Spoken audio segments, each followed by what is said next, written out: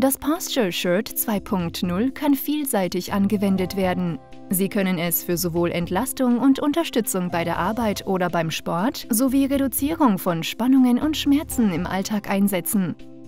Wenn man weiß, wie es geht, ist es ganz einfach.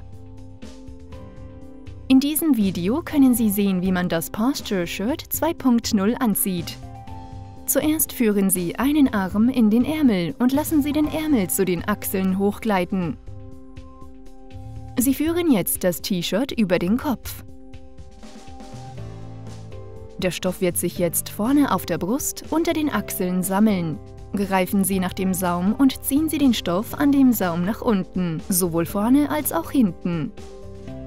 Ziehen Sie den Stoff an den Schultern hoch und ziehen Sie hinten an dem Saum nach unten, um das T-Shirt in die richtige Position zu bringen. Greifen Sie zuerst den einen Ärmel und ziehen Sie nach unten, während Sie ihn in die richtige Position bringen. Sie sollten jetzt spüren können, wie die Schultern leicht nach hinten gezogen werden.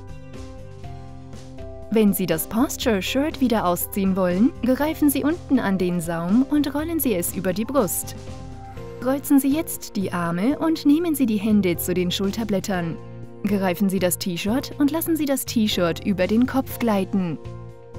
Es ist wichtig, dass das T-Shirt eng anliegt, um den besten Effekt zu erzielen. Die Passform wird immer individuell sein, aber in der Regel sollte insbesondere an den Schultern und Schulterblättern keine Falten entstehen. Sollte der Stoff weiter unten auf dem Rücken etwas lose sitzen, ist das weniger wichtig für die Funktion des Shirts.